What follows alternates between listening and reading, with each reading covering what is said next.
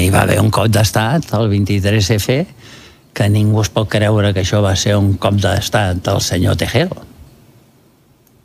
Encara, potser encara hi ha alguns innocents que es creuen això. Eh? Vostè creu que el rei estava darrere, per exemple? Home, jo crec que els socialistes estaven darrere. Sí? Del 23F? Oh, i, tant. I tant. Sí, eh? Per Oh, frenar el desenvolupament autonòmic. Bueno, és el que va passar. És a dir, què va passar?